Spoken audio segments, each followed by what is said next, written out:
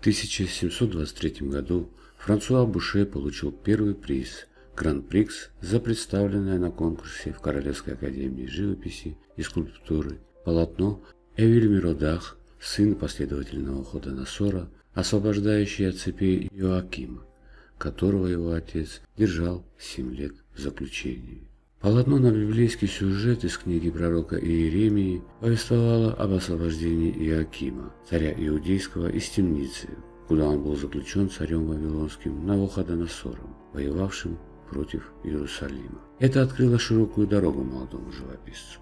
Он получил право на путешествие в качестве пенсионера Королевской академии живописи и скульптуры в Италию.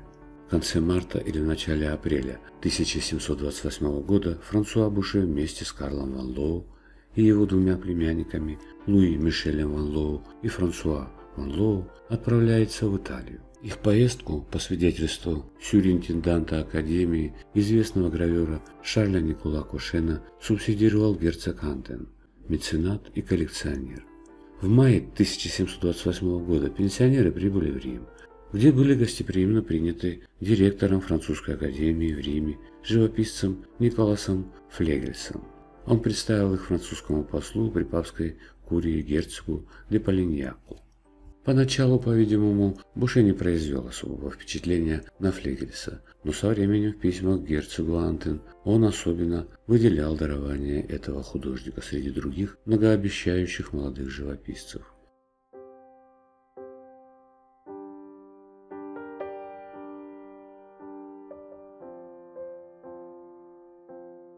В Италии, судя по рисункам, внимание Буше привлекли работы голландских итальянистов – в частности Абрахама Блумарта, а также рисунки, гравюры и живописные работы Бенедетто, как называли во Франции Джованни Бенедетто Кастильони. Его заинтересовало их видение натуры, мастерство в изображении животных, сцены сельской жизни.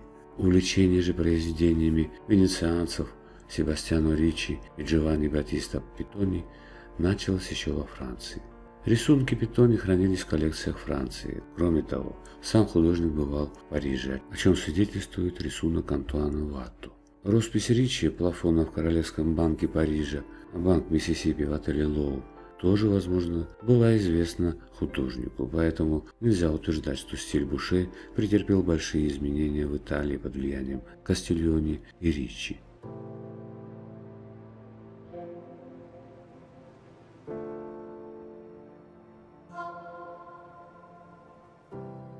Еще до отъезда в Италию были написаны картины «Святой Варфоломей», Иосиф представляет отца и братьев фараону, Вафуил приглашает слугу Авраама. Уже в этих работах Буше привлекает необычная трактовка сюжетов.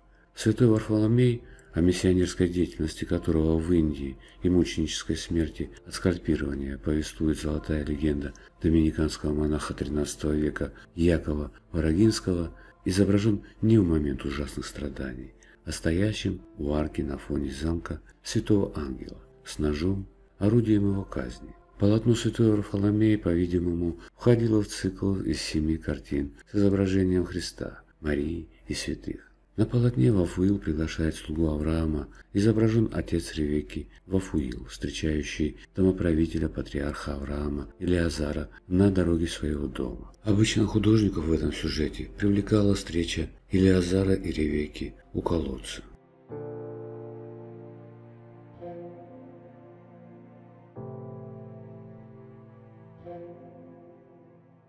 Удлиненные пропорции фигур в ранних картинах Буше свидетельствуют о знании работ Питони. Сюжеты картины Иосиф представляет отца и братьев фараону до 1954 года истолковывался как новый вариант сюжета полотна, за которое Буше получил в 1723 году Гран-прикс в Королевской академии. Теперь установлено, что Буше представил сцену из Ветхого Завета, изобразив Иосифа, его отца Якова и братьев его и их жен, стоящими перед египетским фараоном, одетым в средневековой костюм. Узнать родного брата мы не могли, но в дрожь нас бросил, когда на нашем языке он крикнул с болью «Я Иосиф! Жив ли отец, скажите мне!» Отец, он плакал как ребенок, Мы не могли прийти в себя, наш брат, наместник фараона, рыдал, как малое дитя. Как он смотрел на наши лица, с какой радостью живой. Взгляни, отец, вот колесницы прислал он с нами за тобой.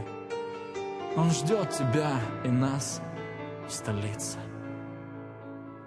Сын смолкнул, завершив рассказ, что в сердце в силе длинных фраз входило сладостно и больно, как нежный свет в слепую тьму.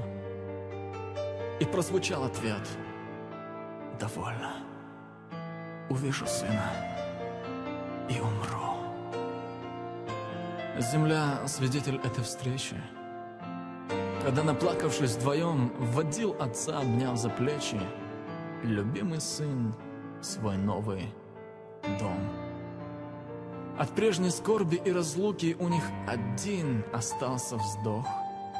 Одна лишь мысль в певучем звуке. Как ты велик и дивен, Бог. И злой с памяти стирая вновь мир царю внутри семьи. Нам все лета, о чем вещая, гласит нам память в наши дни. Святыня древнего сказания, земли и радость, и печаль, Что иногда внутри сознания, волнуя души, манит вдаль. Безмолвно говоря о том, что ждет нас необъятный дом За высотой небосвода, где Бог, Отец наш, даст свободу.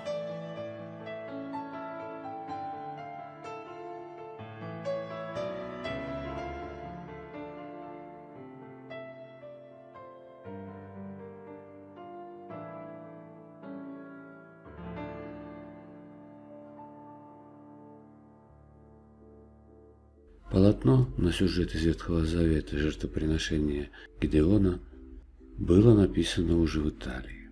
Голова Гидеона напоминает голову Якова, о чем свидетельствуют более живые эффекты освещения и светлая колористическая гамма, напоминающая живописную манеру Себастьяна Ричи.